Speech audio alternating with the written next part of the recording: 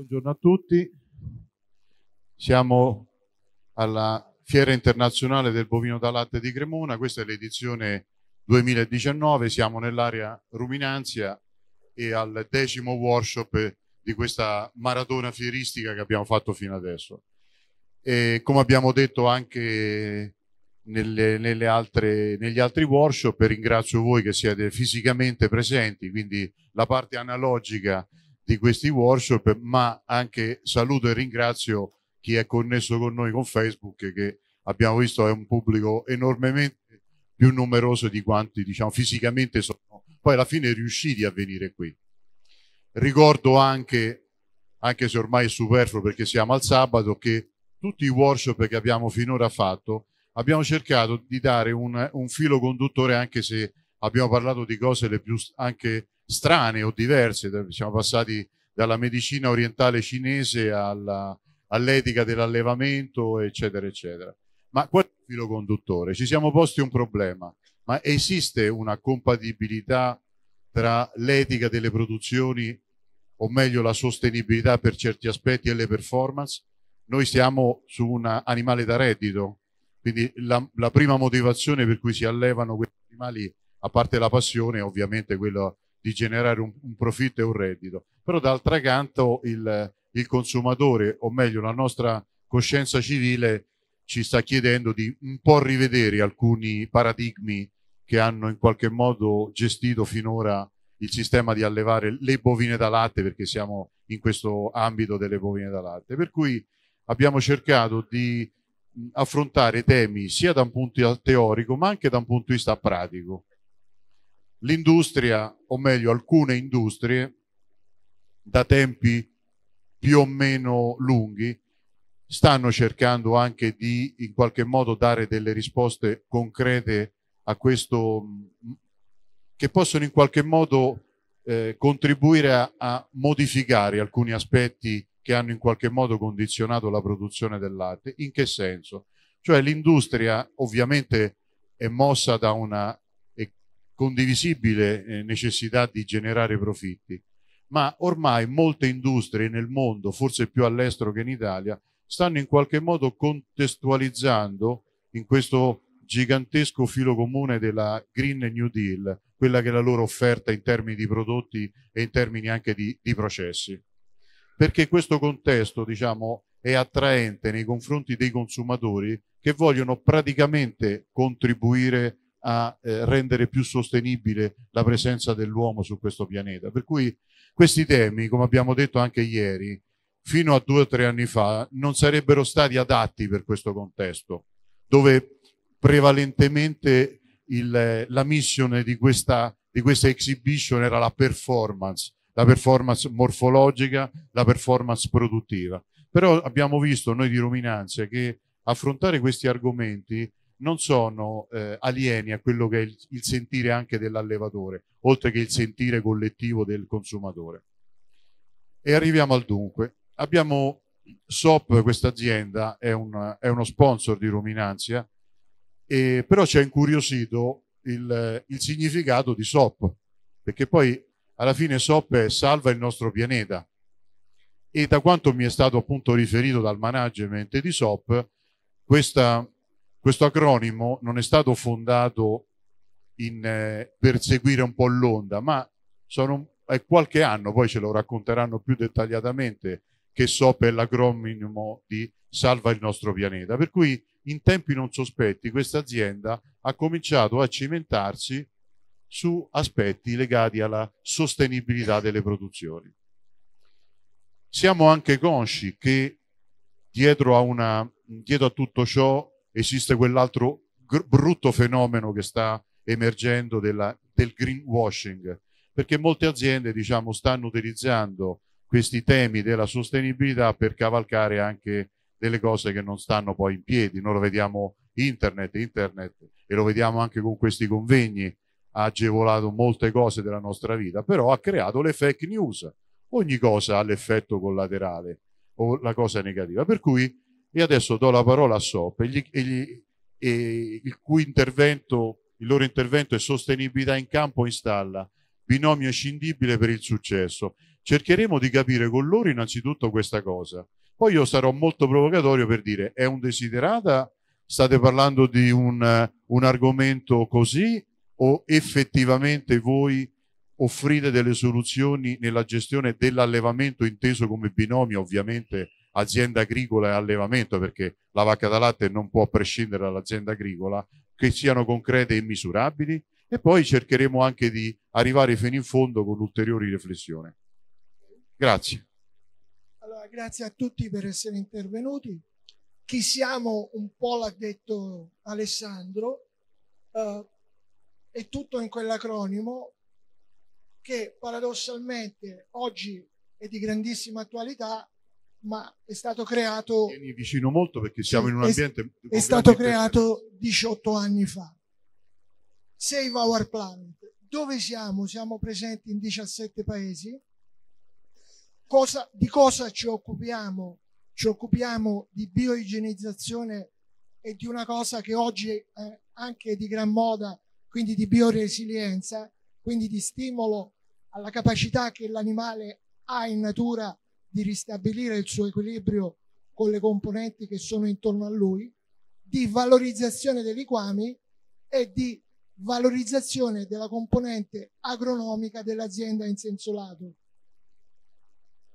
Se voi vedete nel titolo, e ci vedete anche dal vivo, siamo in due e eh, non è per farci compagnia, anche se ci vogliamo bene, ma è perché rispecchia proprio il nostro modo di vedere la zootecnia e l'agricoltura come un binomio. Molto spesso in questi anni l'allevatore è stato subissato da visite, da incontri in cui si è parlato moltissimo delle vacche, di cosa poteva essere più utile per le vacche. Io e Alessandro condividiamo una passione, un mestiere, e di come un qualcosa in più di proteine o in meno di fibra facesse cambiare l'azienda. Penso che anche lui sia arrivato alla convinzione, no?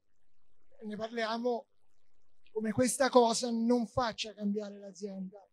Il reddito di un'azienda viene assolutamente dalla compartecipazione, dal buon funzionamento della parte dei campi e della parte della stalla. Se noi non abbiamo chiaro questo, la redditività dell'allevatore non potrà mai svilupparsi in avanti. Anche se poi nella nostra quotidianità vediamo che spesso c'è il fratello che si occupa della stalla e il fratello che si occupa della campagna, ma il momento di sintesi è determinante. Questo sul campo.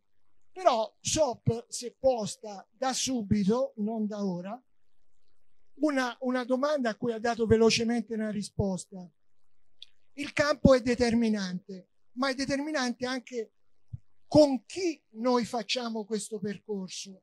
E SOP in questi anni ha fatto un percorso con molti organismi universitari e molte istituzioni collegate. Nell'ultimo anno in particolare, ci torneremo dopo, anzi 20 giorni fa, c'è stata una pubblicazione fatta con l'Università di Milano dove vengono forniti dei numeri. I numeri sono un argomento veramente su cui si discute sempre, ma sappiamo tutti che i numeri che ci vengono imputati molto spesso sono difformi. Quanto inquiniamo? Quanto è colpa delle vacche? Quanto è colpa della campagna? Io facendo una cosa non proprio rituale, vi dico già qual è l'obiettivo. L'obiettivo è che l'allevatore non sia il responsabile del problema, ma che l'obiettivo è che l'allevatore dia una mano e anzi sia il promotore della soluzione al problema. Oggi ci sono delle conoscenze, delle aziende che si stanno muovendo in questo senso per dare all'allevatore la possibilità di dire io non solo credo in quello che faccio, ma ho la possibilità tecnologica di ridurre le mie emissioni e quindi di parlare concretamente di sostenibilità. Due parole veloci sulla sostenibilità. Anche questa è una, una parola abusatissima. Io mi permetto di dire anche un po' violentata, oramai, ma eh, la sostenibilità ancora in termini di misurazione ha da fare molti, molti, molti passi avanti. Perché se oggi un allevatore dice io sono sostenibile, mi dovrebbe dire secondo quali criteri, quali misure, quali riscontri oggettivi. Quindi l'obiettivo è chiaro, la sostenibilità, ma dando delle indicazioni di cosa facciamo domattina per andare in quella direzione.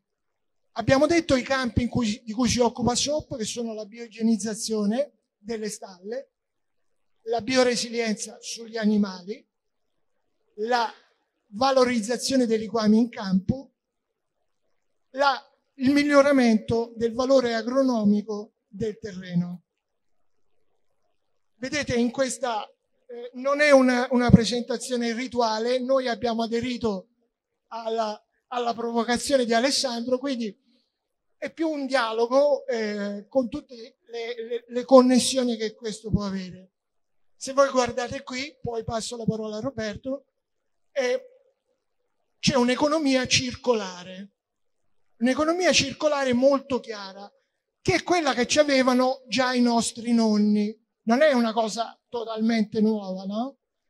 In alto ci sono i campi che emettono qualcosa in rosso, emettono ammoniaca, nitrati, poi ne parleremo di queste cose, ma mi sembra giusto dare subito, sempre in termini di provocazione, un dato che non è mio, Alessandro piacciono i numeri, un dato che non è mio, l'ammoniaca provoca in Europa 400.000 morti l'anno. Noi non siamo responsabili, possiamo essere coloro che guidano tutti insieme, ognuno con la sua parte, con la sua piccola parte, la riduzione dell'ammoniaca. Noi sappiamo quanto l'ammoniaca crei problemi in stalla, lo vediamo tutti i giorni, anche nelle vitellaie o presso le vacche, ma lo vediamo anche in senso generale. L'altra parte, sulla parte destra, ci sono i nostri amati animali, dove in input ci sono i mangimi, gli integratori e i farmaci. Qui non apro la finestra sui farmaci, ma è chiaro a tutti voi cosa sta succedendo negli ultimi mesi. La direzione è tracciata, la riduzione dei farmaci è sicura, ha una componente etica fortissima, ha anche una componente economica fortissima. Noi dobbiamo puntare a avere animali che stiano meglio per poter e dover utilizzare meno farmaci. Ma questi animali, oltre alle loro emissioni per cui siamo sempre crocifissi con dati abbastanza controversi, da questi animali poi si crea il liquame. Anche lì finestra enorme, problemi enormi. L'assessore alla regione Lombardia, che rappresenta buona parte del patrimonio zootecnico dell'Italia, ogni volta che interviene in un convegno, anche negli ultimi mesi, dice che le sue due priorità sono la riduzione della concimazione chimica e la riduzione delle emissioni. Se ci pensiamo bene, sono anche le nostre priorità e non dobbiamo vederle come un aspetto, con un aspetto sanzionatorio, che speriamo non venga mai, anche, anche se forse l'aspetto sanzionatorio a torto accelererebbe, accelererebbe tutto questo processo. No? Però alla fine anche qui abbiamo tutta la componente della sostenibilità, anche sociale. Io non dirò l'albergo dove soggiornavo stanotte, per, per ovvi motivi, per non essere citato. E noi abbiamo cambiato albergo rispetto all'anno scorso e gli ho fatto i complimenti a chi ha scelto l'albergo, ho detto meraviglioso, non c'è la puzza dei maiali la sera. Ieri sera, la seconda sera, come siamo usciti dalle camere, una tragedia. Albergo bellissimo, prima o poi qualche vicino creerà il problema come è giusto che sia. La cosa paradossale è che soluzioni cominciano a esistere. Perché dobbiamo arrivare al contenzioso? Perché dobbiamo arrivare alla sanzione? Starebbero tutti meglio il proprietario dell'allevamento, il proprietario dell'albergo e noi che ci viviamo. Io passo ora la parola. Ehm, è vero, c'è un piccolo dettaglio, volevo vedere se ne accorgeva il mio amico, eh, c'è un piccolo output che sarebbe il latte, che non è un dettaglio, che non è un dettaglio, ma vedete quanto c'è intorno no? e quanto poi alla fine sia tendenzialmente piccolo, no? o come un collo di bottiglia, alla fine tutto converge lì. E lo dobbiamo fare rispettando non in senso generico ambientalista nel senso deteriore della parola, permettetemelo, ma per il nostro benessere, il benessere degli animali, dobbiamo fare in modo che queste emissioni si riducano per produrre più efficienza nei campi e negli animali. Significherà più latte e probabilmente non solo più redditività in senso lato, ma anche, perché no, un latte che in alcuni casi possa essere retribuito per unità di prodotto in modo diverso. Io non so quanto tempo ci sarà fino allora. So che arriverà, spero di esserci ovviamente insieme a voi per vederlo. Eh? Cominciamo dalla parte della campagna, perché secondo me in un'economia circolare si parte sempre dalla campagna. Eh? Passo la parola a Roberto. Allora vorrei ringraziare il caro amico che per anzianità e, e forse per intelligenza mi supera e perché ha già individuato um, quello che è il problema di fondo è che normalmente noi parliamo di ambiti separati.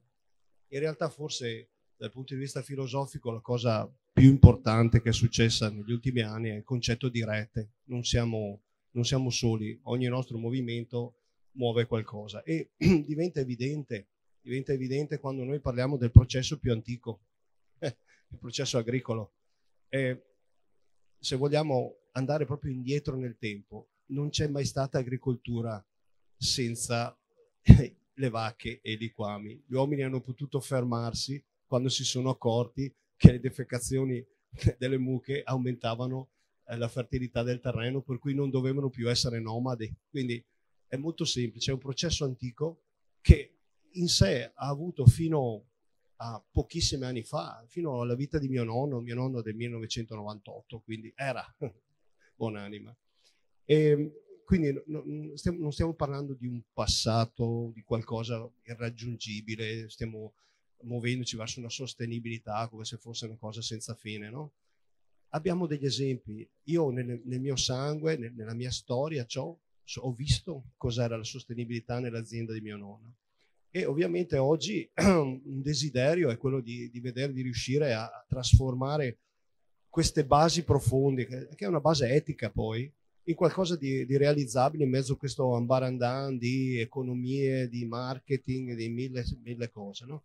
E forse considerare il processo come un processo circolare, un processo naturale, un processo che è sempre funzionato e di cui noi abbiamo toccato alcuni aspetti, che come li abbiamo toccati possiamo ritoccarli e renderli migliori, è l'approccio che ci è sempre piaciuto, che abbiamo sempre fatto, è un approccio che dire olistico sembra quasi un po' ficchettone, dire integrale è molto più serio. E da dove è sempre partito tutto? Dalla terra. Quindi eh, efficacia in campo. Ecco, qui allora, ehm, sebbene ci sia la passione per i numeri, io sinceramente penso che l'occhio vuole la sua parte, nel senso che ho sempre avuto una passione personale del vedere come le cose morfologicamente nel terreno e nelle piante si trasformino, perché quelle sono certezze, non sono numeri, i numeri sono misure, ciò che vedi è certo. E vi ho fatto l'esempio allora di un paio di fotografie.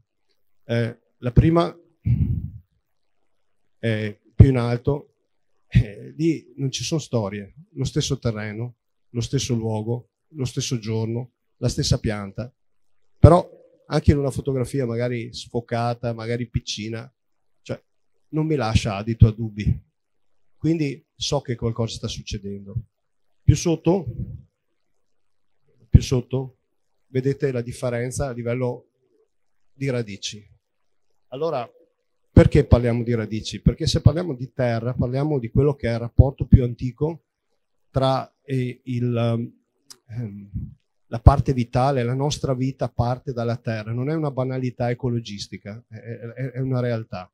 E eh, se la terra funziona, funziona tutto. Okay? La terra però ha il piccolo problema che non produce zucchero. Noi siamo fatti di carbonio, ma la nostra benzina è lo zucchero. Chi è che produce la benzina della terra? La producono i vegetali. Eh, sono i vegetali che fanno vivere la terra, che sviluppano la terra altrimenti la Terra è solo un aggregato eh, di, di, di, di, materia disgregata, sembra un acronimo. Allora, cosa succede? Quando il terreno comincia ad essere vivo, lo vediamo anche immediatamente nella pianta. E questo è stato l'obiettivo primo che abbiamo ricercato. Come possiamo fare in modo che la pianta e il terreno non sia più vivi? E questo cosa porta? Questo porta facilmente eh, una, dei, molti aspetti positivi che partono, partono sempre da una, eh, scusate, diventerò bravo, da una maggiore attività dei microrganismi del terreno. Allora, quando parliamo di microrganismi del terreno, qualcuno pensa che siano cosine piccoline, cioè parliamo di 15 quintali, 15 tonnellate per ettaro. 15 comprende tutti la parte vitale, 15 tonnellate per ettaro. Sono 20 vacche. Diciamo che se uno comincia a pensare a questo, comincia a pensare che stiamo lavorando su, non su qualcosa di piccolo, ma qualcosa di fondamentale e si vede. Cosa, cosa riusciamo a fare? Allora, se noi lavoriamo su questa parte, potenziandola, si vede innanzitutto sulle radici. Perché?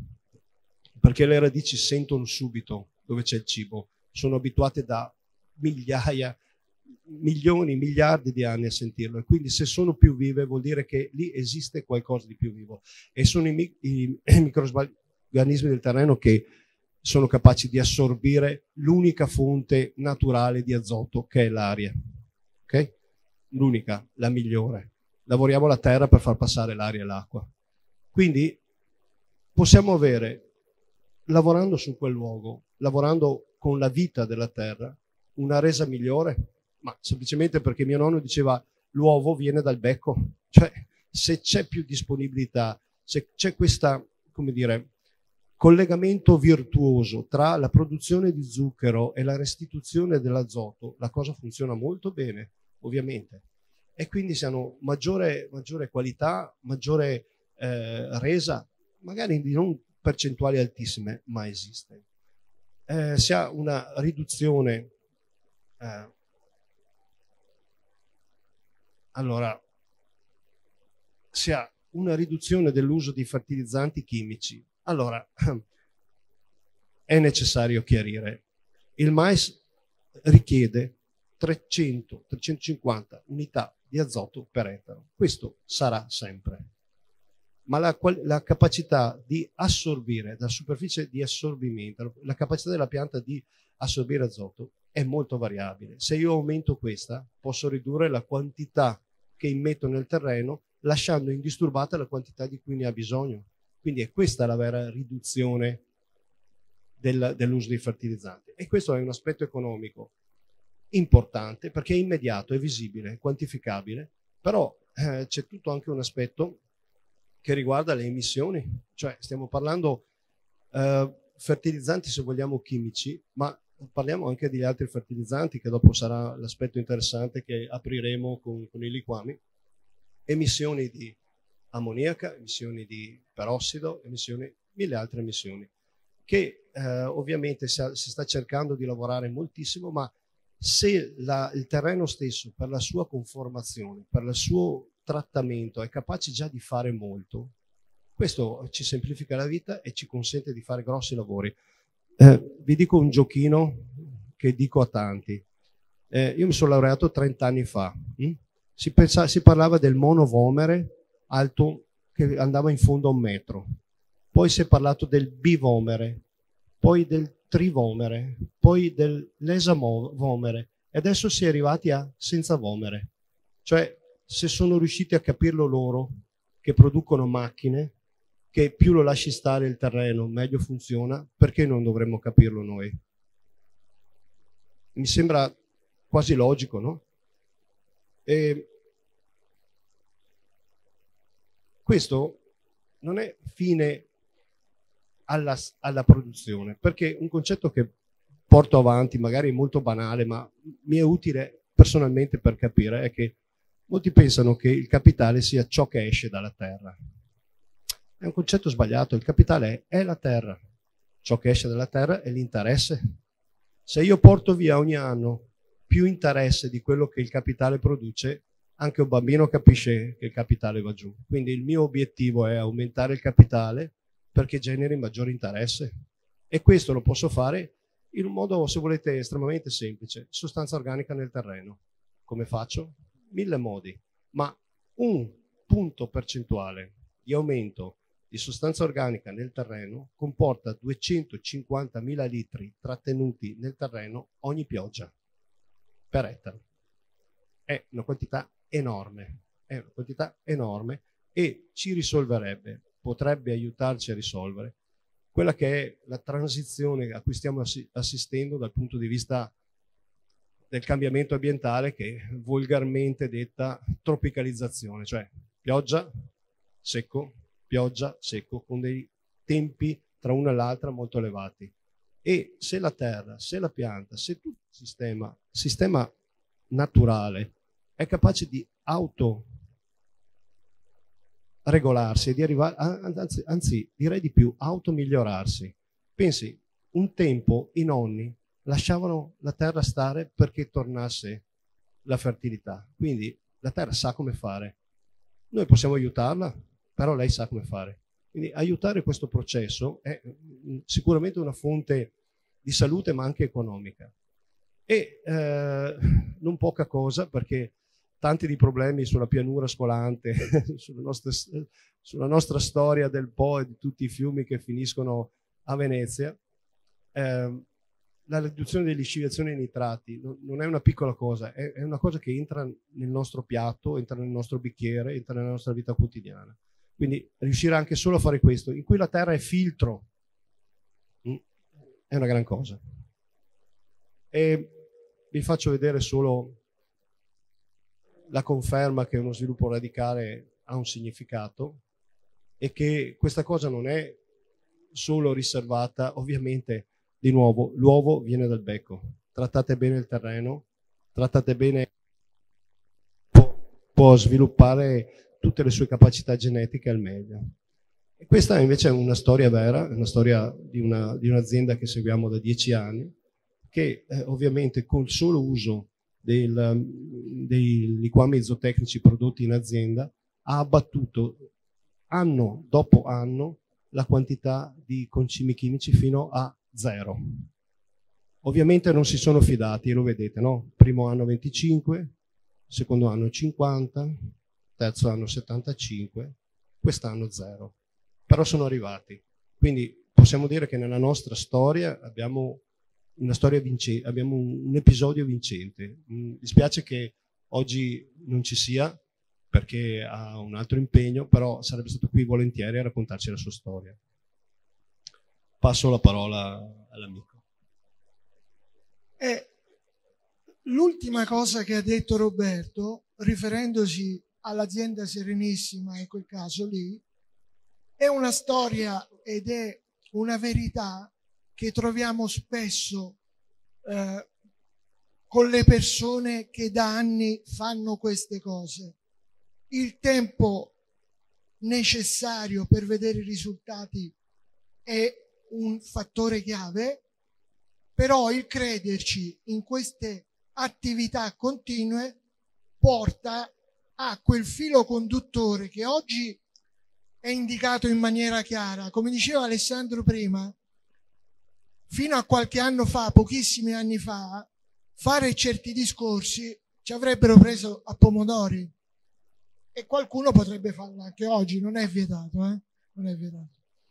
Però chi ha cominciato a farli da qualche tempo e in sala qualcuno di queste persone c'è, credendoci, con grosso sacrificio essenzialmente da parte sua, a volte di andare a monitorare i risultati, perché il monitoraggio dei risultati sia in stalla che in campo agronomico non è un argomento semplice. Io ricordo benissimo un articolo di Alessandro di qualche mese fa, forse un anno fa, in cui diceva esistono dati e dati. No? Ma che vuol dire? Cioè noi siamo in un certo senso schiavi dei numeri e pensiamo che un numero abbia una sua realtà incontestabile. Ce l'ha, però bisogna vedere qual è il criterio con cui è stato raccolto. In sala non lo, non lo coinvolgo per ora, c'è presente una delle persone che di più segue il monitoraggio dei risultati in campo e vi assicuro che è un compito molto complicato perché non sempre gli stessi dati possono essere utilizzati e confrontabili. Non a caso Roberto ha, fatto, ha detto questo è un episodio vincente dove noi abbiamo potuto monitorare con successo. È un po' un appello, prima della mia, è un po' un appello alla collaborazione che in alcuni casi abbiamo totale da parte dell'allevatore nella raccolta dati, in altri casi dobbiamo veramente fare tanta fatica arriviamo alla, alla, alla nostra vacca e mh, mm, vedete, io ho fatto aggiungere rispetto ai cinque paragrafi che ci sono, in fondo, fra parentesi, le università con cui si collabora. Non è un vezzo, stiamo parlando dei massimi organismi mondiali che si occupano di questi problemi. Vi assicuro che per un'azienda privata dove c'è un imprenditore che investe in ricerca non è un argomento semplice. Noi speriamo che sempre più aziende private investano in ricerca, oltre che nella raccolta dati sul campo. Se noi partiamo da quella che è stata la prima attività di SOP, che è quella in basso a sinistra, è quella del contrasto ai patogeni ambientali. Le comunicazioni in basso sono del National Mastitis Council per quattro anni consecutivi. Alessandro sa bene, tanti di voi sanno bene, che fare una comunicazione per quattro anni consecutivi comporta il rischio a volte di annoiare o comunque di non portare delle cose nuove. Il National Mastitis Council ci ha dato una porta aperta per quattro anni consecutivi. Come avviene questo contrasto ai batteri patogeni? Partiamo da quello che SOP ha imparato a fare prima, subito dopo la fondazione, di, risale a circa 18 anni fa.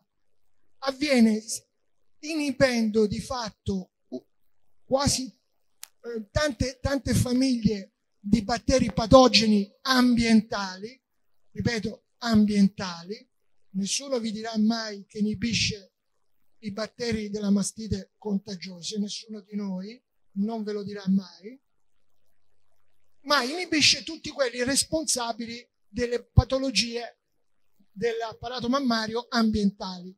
Quando noi abbiamo cominciato questo lavoro, la prevalenza delle mastiti era una prevalenza di tipo contagioso.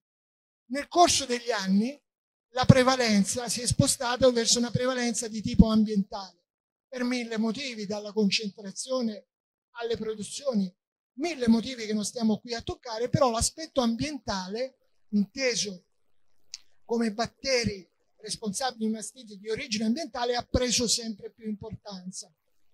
L'azione di SOP determina una riduzione dell'attività di questi uno stimolo tutti i microorganismi responsabili della produzione di humus in lettiera, quindi di fatto determina un'asciugatura di qualunque superficie, sia essa lettiera, uccette o paddock, questo anche grazie al fatto che da 4-5 anni è autorizzato l'impiego di SOP attraverso la bocca dell'animale, cioè diventa da un punto di vista della somministrazione un componente della razione, pur non avendo nessuna valenza di tipo nutrizionale.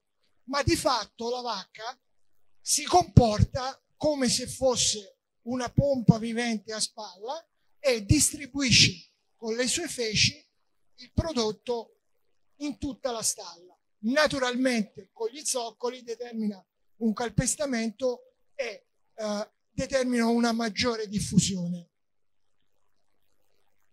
C'è poi in, in, una riduzione delle emissioni di ammoniaca, lo vedremo nel dettaglio. Ripeto, l'ammoniaca, secondo dati dell'Unione Europea, giusti, non giusti, quelli delle Nazioni Unite sono un po' diversi, determina, è, cioè, è causata dal 90% dall'agricoltura. L'ammoniaca determina anche morti, ma soprattutto determina cattivi ambienti in stalla. Un esempio classico è la vitellaia, dove i vitelli subiscono maggiormente questo problema perché c'è un'irritazione a livello delle prime vie respiratorie tale che essendo una mucosa molto più delicata, parlando di animali di pochi giorni, l'insulto che porta molti patogeni. E oramai secondo varie ricerche più del 40% delle morti entro sei mesi sono dovute a patologie polmonari. Buona parte di queste non sono conseguenti non voglio fare veterinari non lo sono io, eh, non sono conseguenti all'azione del batterio in sé ma a un indebolimento della mucosa respiratoria che diventa più predabile quindi delle cuccette che sono più asciutte, un humus maggiore, una riduzione degli odori, quindi concretamente una sostenibilità ambientale maggiore. La riduzione degli odori è sia per gli animali che ci vivono, sia per le persone che ci lavorano. Diciamo, questo fiore all'occhiello, siccome è, è nato da, cioè un bimbo nato da 15 giorni, ci teniamo particolarmente, è una pubblicazione fatta con l'Università di Milano, vedete in basso, ed è di settembre 2019. Per la prima volta, con soddisfazione in Italia, ci, viene, ci vengono forniti dei numeri, che vediamo magari dopo, di riduzioni concrete di ammoniaca e protossido di azoto fino al 100% e di metano e anidride carbonica tra il 20 e il 22%. La storia del metano, faccio solo un piccolo inciso con riferimento a quanto detto nel workshop di ieri, ci stanno dicendo che le vacche sono responsabili di tutto il metano del mondo, eccetera, eccetera. Una piccola riflessione, c'è una stima, una stima nordamericana, che dice che il numero dei ruminanti fra domestici e selvatici presenti oggi è lo stesso quasi di quando sbarcò Cristoforo Colombo. Allora, di grazia, o non ruttavano e non scorreggiavano, scusate l'esperienza, quando c'era Cristoforo Colombo, o se sono lo stesso numero, il problema del metano, anche perché il metano dopo 12 anni si riconverte in anidride carbonica, quindi il problema del metano forse un attimino è stato sopravvalutato o ci sono quelle le fake news che girano senza accusare Facebook perché siamo su Facebook, vero? No, no, Facebook, tanto di cappello, sempre. Eh, però, però il, metano, il metano è lo stesso di quasi come numero di animali 300-400 anni fa. Quindi questo è un punto fondamentale. Che poi se noi riduciamo le emissioni di metano abbiamo una migliore assimilazione e conversione dei nutrienti, questo è un dato osservazionale, nel senso che come per Roberto negli esempi delle nostre stalle che ci danno il grosso aiuto di aiutarci appunto nel, nella raccolta dati, noi vediamo questo miglioramento dell'assimilazione della conversione. Ma è un'osservazione appunto che deriva sicuramente da questo, ma che è conseguente a questo. Quindi noi stiamo lavorando per dimostrare tutta la catena. E un'altra università con cui lavoriamo è forse oggi una delle più prestigiose al mondo. È brutto fare delle classifiche, anche se esistono, no? Ma l'Università di Davis in California è sicuramente una delle prime tre al mondo per quanto riguarda questi argomenti. Con il suo guru, che anzi vi invito a seguire su Twitter, che si chiama, ha un nome impronunciabile, però è il suo cognome, Mitt Lerner, poi ve lo dico come si scrive, questo signore è quello che ha sbugiardato i vari report, i vari report in tutto il mondo che davano tutta la colpa alle vacche ed ha, ed ha un'attività su Twitter enorme e presso Nazioni Unite, eccetera, eccetera, eccetera. La pubblicazione che abbiamo fatto a Milano è stata fatta da un team guidato dalla professoressa Guarino, voglio dire solo una delle cariche, è presidente dell'Associazione Europea allevamento di precisione. Quindi è sicuramente mentalizzata verso un non spreco delle risorse. Le, I numeri, eh, abbiamo visto le riduzioni delle emissioni enteriche, i numeri li vediamo in, nella slide anche dopo, andiamo avanti, qui, qui sono degli esempi. Questo mi fermo un attimo, purtroppo anche lui è in campagna in questo momento. Questa è un'azienda di 450 vacche in mungitura, L'unica cosa che ci interessava far vedere qui, è non per parlare di produzioni, eccetera, eccetera, perché ricordiamoci che le produzioni sono funzioni di un animale che sta meglio, non esiste qualcosa che generi un aumento di produzione, esiste un'attività, un sistema che fa star meglio la campagna e la stalla. Se la campagna e la stalla vanno meglio, l'animale produce più latte non c'è nessuna discussione su questo. In questo caso abbiamo misurato la riduzione dei farmaci quando questo allevatore è passato da utilizzare il prodotto in verde, che era il prodotto solo ambientale, Gold Pro Cow, a utilizzare nel maggio, giugno praticamente, il prodotto che svolge sia l'azione di igienizzazione sia l'azione sugli animali di bioresilienza. Quindi gli animali sono diventati più resistenti, ma soprattutto dopo il problema ristabiliscono più velocemente la loro capacità produttiva. Poi magari dopo facciamo un aggancio su questo. E c'è, scusa Roberto un secondo soltanto, c'è il 75% di farmaci in meno. Ora è evidente che c'è anche una stretta dei farmaci che tu, qualunque grossista di farmaci sta osservando negli ultimi sei mesi. Però la riduzione dei farmaci è imponente, imponente. Se voi andate a vedere da dove è partito, quelle sono le percentuali di mastiti al mese, erano il 3,5%, oggi viaggia a 0,5%.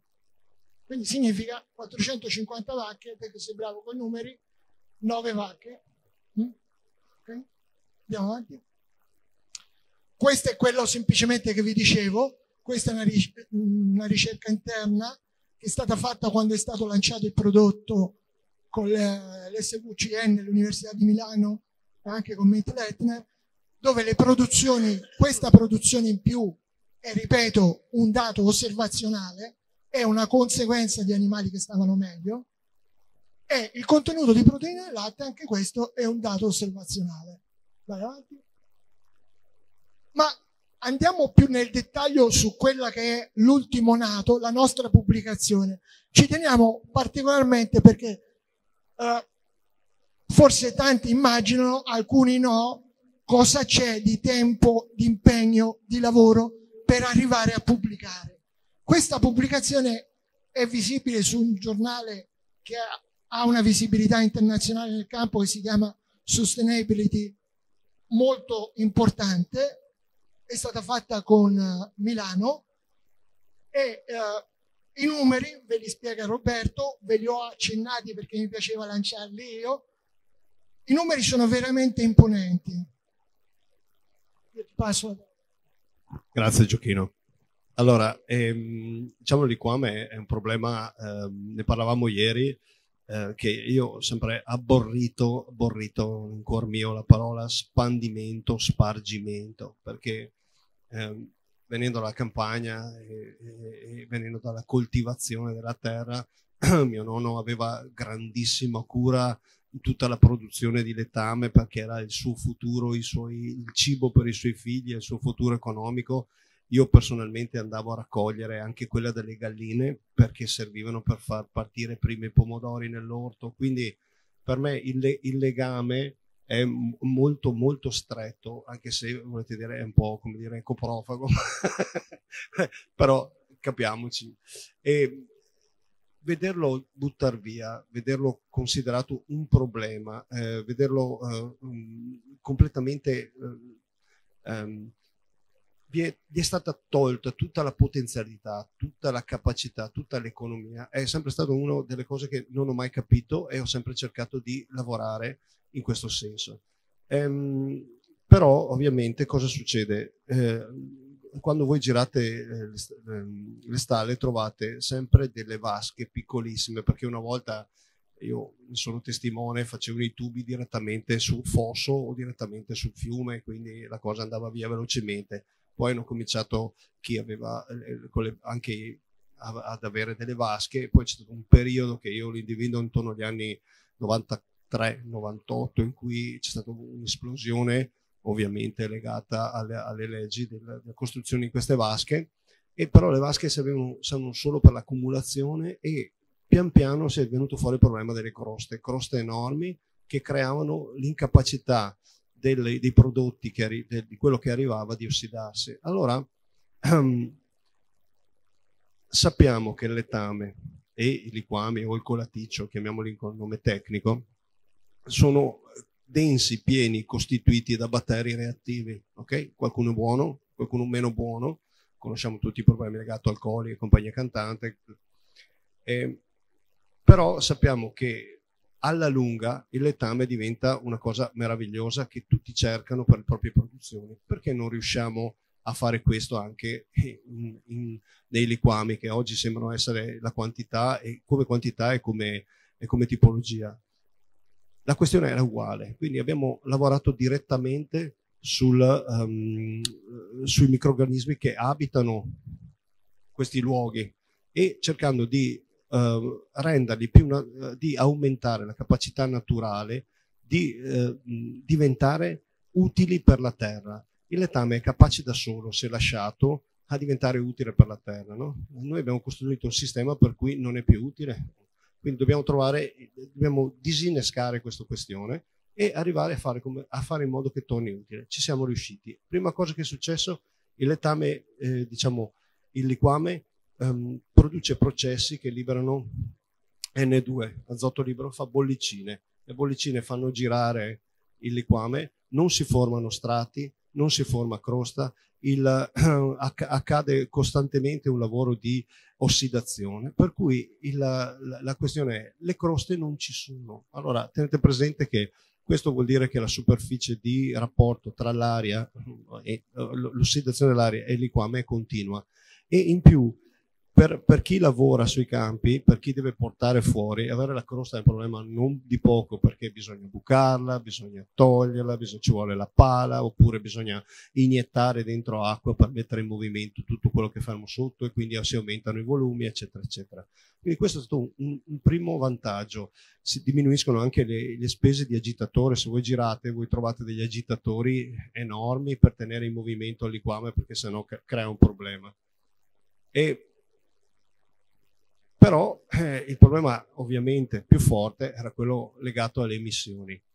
Allora, il, la questione delle emissioni è interessante perché eh, noi parliamo eh, di gas serra, forse abbiamo in mente il buco dell'ozono quello, o i concetti che vengono ripetuti, però sono due tipologie diverse. L'ammoniaca non è un gas serra, è molto peggio, è qualcosa che è abbastanza pesantina hm?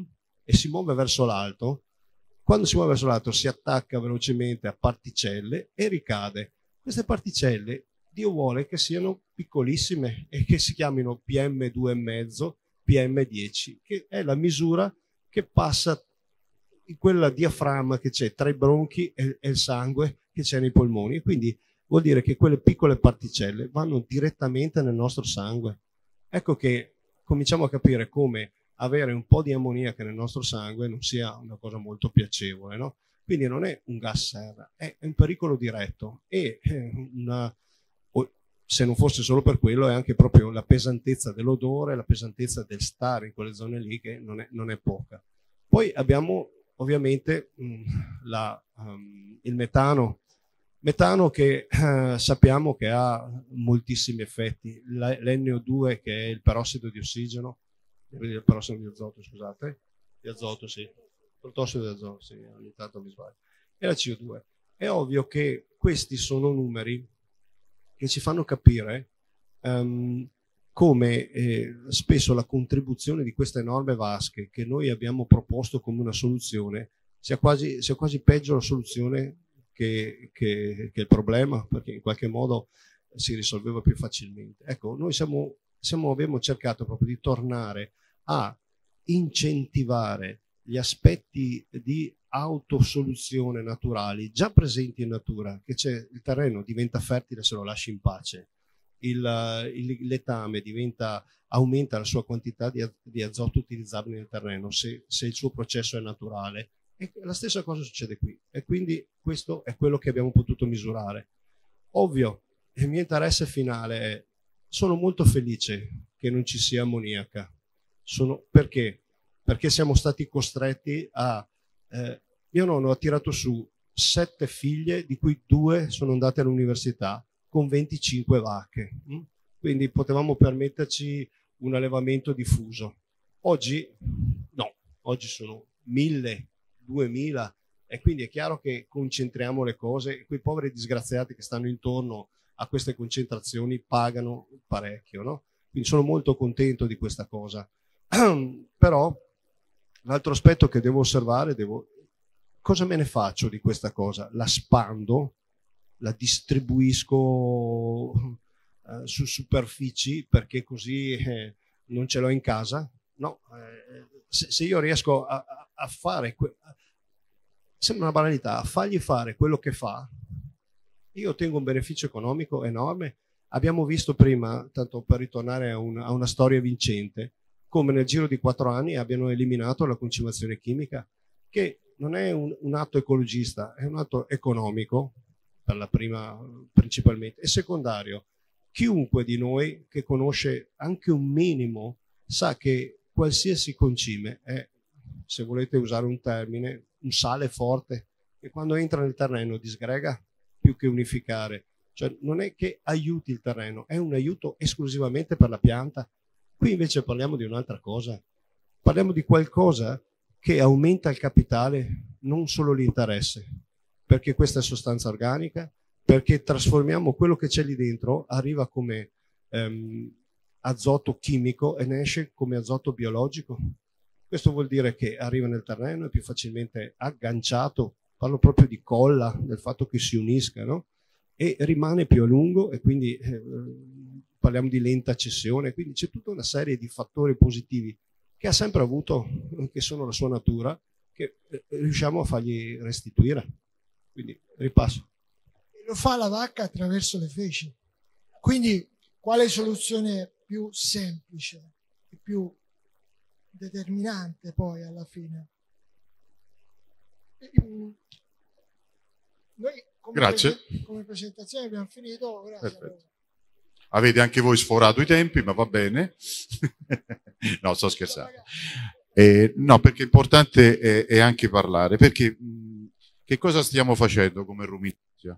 Innanzitutto voglio fare una premessa, cioè noi stiamo cercando mh, molte delle perdite di tempo che c'è stata fino adesso nel cercare di mettere la testa di come migliorare la sostenibilità delle nostre produzioni è nata dal fatto che non ne avevamo bisogno ma che comunque era stata inserita all'interno di una sorta di lotta ideologica, no?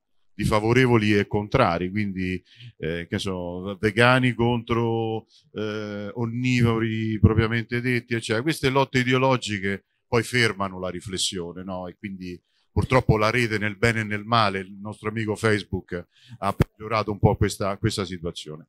Che cosa stiamo facendo anche come ruminanza? Stiamo cercando sempre nel libero confronto di idee, che è il nostro payoff, anche di fare questa, come abbiamo detto anche ieri, queste due sostanzialmente liste, una black list e una white list, cioè dove, dove ridistribuire tutti quelli che possono essere gli additivi, le soluzioni alimentari, le soluzioni strutturali da ciò che è additivi, per esempio, nel nostro, di comprovata efficacia, da ciò che rimane un po' nell'ambiente emotivo. Ah, che cosa voglio dire?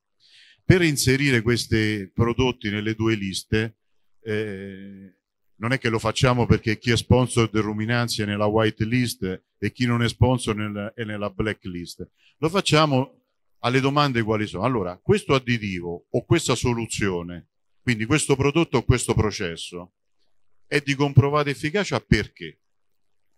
Perché ha subito, c'è alle spalle una prova scientifica su una rivista indicizzata? Guardo i docenti universitari che ringrazio qui presenti e quindi ha superato diciamo, l'esame dei referì e quindi della pubblicabilità su una rivista indicizzata, ha, ha superato l'esame di prove di campo secondo livello. Questo sta, permette diciamo, già delle distribuzioni.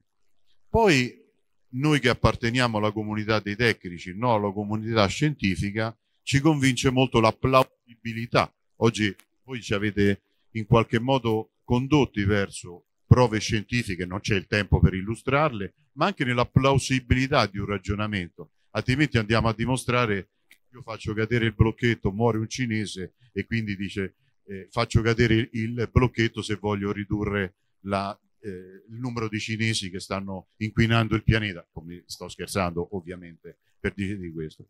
Però c'è un aspetto fondamentale che non è marginale, che è quello diciamo delle impressioni, le prove empiriche, perché voi non, non, non, dimenticate mai che il più potente modello nutrizionale, il CNCPS, il Cornell Net Protein and Carbohydrate System, che è il sistema, di, è la modellizzazione della vacca da latte che quando inizieremo a usarla eh, è lo strumento matematico che permette diciamo, di ridurre l'impatto ambientale delle produzioni animali, ne abbiamo parlato anche ieri, è basato su modelli empirici, sono equazioni empiriche, causa-effetto, dose e risposta. Per non andare a complicare troppo la questione, io approfitto diciamo, della presenza di due allevatori, due allevamenti, scusate, che in qualche modo possono testimoniare, perché non ci creda a quello che hanno detto loro, eh? Permettete, eh, dubito ergo sum, se effettivamente chi li compra e li paga lo fa perché gli è simpatica la SOP o perché ne trae un vantaggio. Io quindi nel mio cogito ergo sum chiederei ad Alessandra Cobalchini, che è un'azienda nota, di una famiglia nota del nostro settore, che io non conosco, conosco suo padre Alessandra, ho avuto il piacere di eh, conoscerla oggi, perché sta buttando via questi soldi o li sta investendo questi soldi nell'acquistare questi prodotti SOP? Scusate la banalità, ma siamo in una fiera. Eh. Sì, certo. Beh, buongiorno a tutti. Eh, Diciamo che io dico sempre che secondo me SOP è una filosofia, una filosofia sia in stalla che in campo. E I miei genitori quando hanno cominciato, hanno preso l'attività di, in mano l'attività di mio nonno materno, nel 2001 hanno costruito un'azienda nuova e hanno iniziato fin da subito ad utilizzare i prodotti. All'epoca non era ancora SOP, eh, aveva un altro nome, ma loro credevano molto in quella che è la filosofia e il lavoro di SOP. E devo dire che dopo anni noi siamo molto soddisfatti di questa scelta, tant'è che oggi utilizziamo i, praticamente l'intera gamma di prodotti della SOP, quindi a partire dalla vitellaia e per tutto quello che è la filiera poi della produzione e eh, anche in quello che è la, la campagna. E io dico sempre, mm, non so dare ad oggi un uh, riscontro scientifico del perché usiamo SOAP, ma sicuramente non ne faremo più a meno. E lo notiamo in tante piccole cose. E innanzitutto a partire dalla sanità generale della mandria, che sicuramente eh, in questi anni ci ha dato grandissime soddisfazioni. Abbiamo ridotto praticamente al, al minimo storico l'utilizzo di farmaci e devo ammettere anche che abbiamo un veterinario omeopata, quindi abbiamo un po' fuso entrambe le cose, e, ma fondamentalmente non ne abbiamo più bisogno perché comunque gli animali hanno una capacità di resistere ai problemi, di superarli sicuramente molto maggiore rispetto a quello che era, che era un tempo. E di conseguenza il post parto, che è una fase abbastanza delicata, riescono a superarla in maniera, diciamo, egregia. E, e anche adesso recentemente c'è stata una grossa influenza perché non è che gli animali che utilizzano i prodotti da sopra automaticamente non si ammalano più, però nel momento in cui si ammalano hanno anche una capacità di, eh, di uscirne molto più rapidamente e con molti meno, con molti meno danni insomma collaterali. E abbiamo per questo motivo anche deciso di utilizzarlo nella vitellaia, proprio perché abbiamo visto che comunque eh, abbiamo, siamo riusciti a superare un intero inverno e un'intera estate senza utilizzare antibiotici negli animali, con uh, vitelli che sicuramente crescevano in maniera molto, molto più vantaggiosa per noi e anche per loro stessi. E poi noi diciamo che teniamo particolarmente alla linea femminile perché ovviamente i maschi li, li mandiamo via abbastanza in fretta, ma le femmine intorno ai 20 giorni cominciano a mangiare, a ruminare eh, e questo fa sì che crescano in maniera molto più veloce e negli anni abbiamo visto che arrivano a partorire intorno circa ai 22-23 mesi eh, delle primipare molto forti che hanno una grossa capacità di integrarsi poi nella mandria e di continuare eh, diciamo la loro vita. Abbiamo animali molto longevi e questo è sicuramente dovuto a una ricerca e una selezione genetica, ma è anche sicuramente dovuto a una sanità generale dell'ambiente. Abbiamo ridotto fortemente eh, quello che è il problema delle dermatiti, che secondo noi è fondamentale, perché un animale che ha male ai piedi è un animale che non si muove, non mangia, non viene in calore e quindi automaticamente chiude il suo ciclo produttivo eh, per qualcosa che può essere banale, ma che secondo me è fondamentale e al punto che siamo partiti qualche anno fa dove il nostro podologo faceva 20 animali, 10 suole o 10 fasce, adesso facciamo 20 animali e a volte anche nessuna suola, quindi sono interventi di routine non più di intervento. E diciamo che un insieme appunto di fattori fa, ci fa credere molto nell'utilizzo di questo prodotto, di questi prodotti, perché poi noi appunto utilizziamo tutta la, quasi tutta la gamma, ecco. Eh, ripeto, bisogna crederci veramente, eh, portare pazienza perché i risultati, come hanno detto loro, non li vedi dall'oggi al domani, ma li vedi nel continuare, nella, cioè devi creare una resilienza, insomma, lo creano gli animali in stalla, lo devi avere anche tu. E devo dire che noi ad oggi continuiamo serenamente a utilizzare i prodotti e ci siamo resi conto che la spesa non è assolutamente un, un problema perché i risultati ritornano insomma molto velocemente.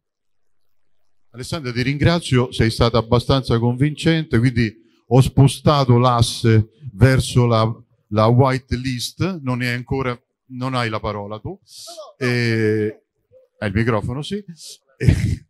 È una gestione un po' dittatoriale, se no sforiamo troppo i tempi sì, però Facebook vorrei... che ci guarda. Buongiorno Facebook.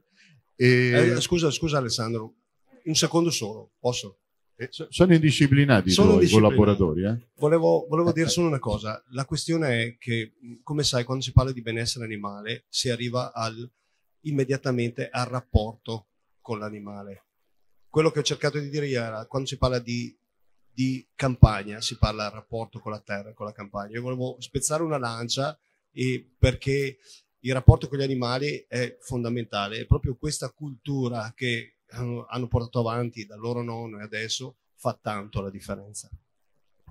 E eh, eh, ora lo faccio anche io. È, un'indisciplina. Eh, Ascolta, cioè, no, due aneddoti velocissimi. Maurizio, tu che sei il direttore, no, devi intervenire. Allora, due aneddoti velocissimi non gli avevo detto che lo dicevo, uno sì, uno no. L'Alessandra, un giorno eravamo a casa sua, era ficcata in un, in un uh, alloggiamento di un vitello. Ho detto, ma cosa ci fai lì dentro? Ho detto, guarda, lo sai che qualche tempo fa, perché il prodotto dei vitelli l'ha utilizzato abbastanza recentemente, Qualche tempo fa io qui dentro per l'ammoniaca non ci sarei stata. La seconda cosa che gli ho chiesto è stata, ma in tutto questo gran parlare di riduzione dei farmaci alla messa in asciutta, mi dai un tuo numero di quanti animali tratti alla messa in asciutta, ma soprattutto quanto tempo ci hai messo? Ha detto, è dieci anni che io ci sto lavorando. Questo è il dato più importante. Però alla fine lei tratta due animali su dieci alla messa in asciutta. Quindi il dato più importante è che ci ha messo dieci, cioè ci sta lavorando. Non mi hai convinto più di quello che hai detto prima, perché io voglio sentire adesso, perché io non, non è difficile che voglio sentire adesso un'altra azienda di cui per pura casualità ho, ho amicizia con i, i, vostri rispettivi genitori che è l'azienda Andena, è un'azienda famosa, una famiglia famosa, quindi Lorenzo. Ma allora... questi due signori stanno raccontando balle o che? no, purtroppo no, anzi fortunatamente no. Io colgo l'occasione intanto per ringraziare tutta la ditta SOP per la tecnologia che fornisce ai nostri allevamenti e anche l'entusiasmo che porta con queste pubblicazioni e questi dati, che non è una cosa da sottovalutare. Come la mia collega Alessandra, anch'io collaboro con SOP da quando è nata SOP, quindi da circa 18 anni. Mi sono ritrovato quindi in una realtà già trattata SOP quando ho iniziato a gestirla io in prima persona. Ehm, loro, sia Gioacchino che Roberto che Alessandra, sono stati molto esaustivi, quindi non mi voglio dilungare più di tanto ad elencare i benefici, però sono tutti reali e la cosa più importante è che sono molto costanti nel tempo. In tutti questi anni di utilizzo quello che ho notato è che sono in continuo miglioramento tutti i parametri, sia quelli produttivi che quelli sanitari che quelli della campagna.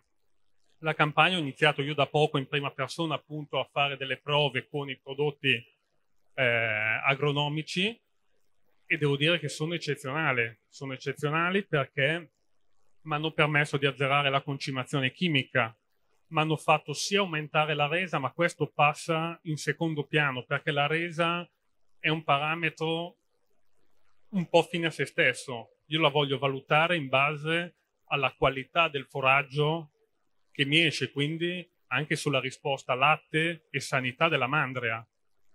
E questa secondo me è una cosa fondamentale senza appunto considerare eh, il discorso sostenibile al quale io tengo, tengo moltissimo.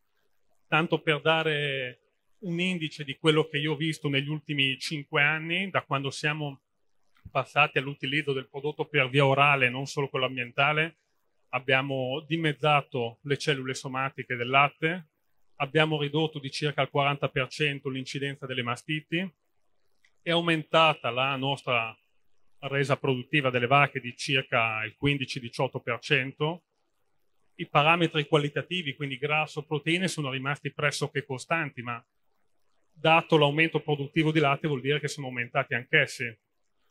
E queste sono cose appunto fondamentali per darci comunque speranza e continuare con entusiasmo questo lavoro. Eh? Beh, hai spostato ancora più l'asticella verso però a questo punto vorrei fare una raccomandazione a SOP. Eh, investire nella ricerca, eh, ho conosciuto il vostro titolare la, la, qualche giorno fa, insomma l'investimento nella ricerca è l'investimento nel futuro. Se non c'è ricerca non c'è futuro, questo è evidente. In questo momento in cui siamo obbligati all'accelerazione e chi accelera sicuramente verrà premiato dai consumatori e a volte e metto gli allevatori anche tra i consumatori impropriamente, cioè, quindi non vi invito a questo ma e chiudo con una battuta. Abbiamo visto ieri in, in questo seminario di ASPA, eh, quindi una, è stata fatta una puntualizzazione di alto livello su quello che è effettivamente il contributo che l'allevamento della vacca da dà, dà alla produzione di gas serra. Abbiamo poco eh, affrontato perché non c'è il tempo in workshop, in una fiera, di quanto l'agricoltura sottrae CO2 o comunque quelli che entrano nel, nel novero dei, della CO2 equivalente, quindi nei, nei gas serra. E, ehm, però una cosa è uscita molto chiara, sia dalle eh, presentazioni che ha fatto ASPA, ma anche da quello che è la bibliografia, che oggi questo sistema di gestione dei liquami, cioè lo stoccaggio dei liquami in vasconi per un lungo periodo una, eh, contribuisce per circa il 50% della produzione di gas serra. Per cui nel doversi dare delle priorità, perché il mondo lo salveremo, eh, il mare si dice fatto di gocce, di piccole cose, tutto insieme, io vi invito ad accelerare molto questo aspetto, della, oltre all'aspetto della sanità animale, de, delle belle cose dette proprio nella gestione dei vasconi dei linguami, perché è un problema secondo me, perché lì c'è il 50% della soluzione, cioè dell'impatto dell'allevamento del, dei bovini in senso generale con i gas serra. Dobbiamo concludere perché Facebook ci sta dando il, che saluto ovviamente, eh, con deferenza, eh, dobbiamo concludere, io vi ringrazio di questo, non sarà ovviamente, questo è, lo auguro che è un inizio di un discorso che continueremo a fare sia nel digitale che nell'analogico. Grazie.